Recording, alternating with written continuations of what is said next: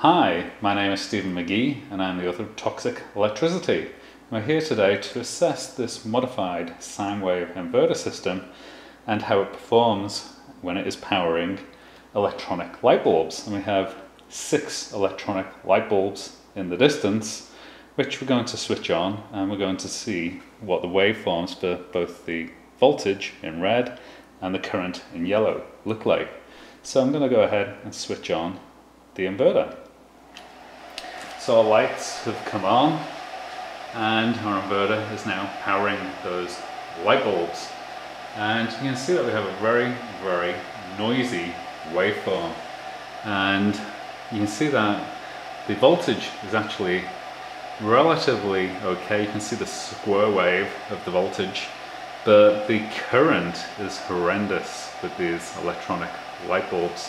I'm going to switch on a function known as the fast Fourier transform function and we can see what's going on with the frequencies and we're currently on 20 decibels in the vertical direction per division and 250 hertz per division in the horizontal direction.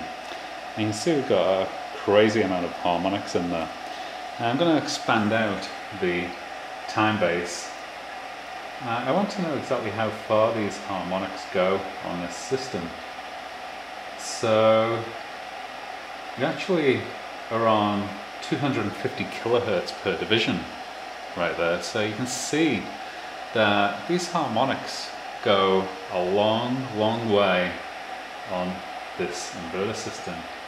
And this is something to be aware of if you operate these inverter systems, is that when you put electronic light bulbs on them, it causes tremendous amounts of electromagnetic interference to occur. And we're actually on two and a half megahertz per division. And you can see that all across this display, we've got distortion. This is probably some of the worst distortion that I've actually measured on a system. And even at one megahertz per division, you can see that we've got this crazy amount of harmonics in the system.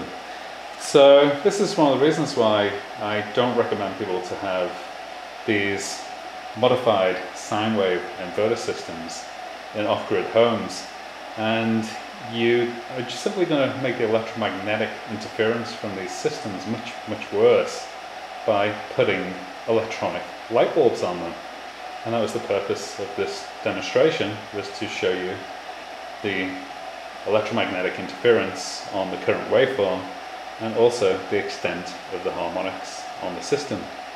I hope you enjoyed the video and I wish you the very best of health. Thank you.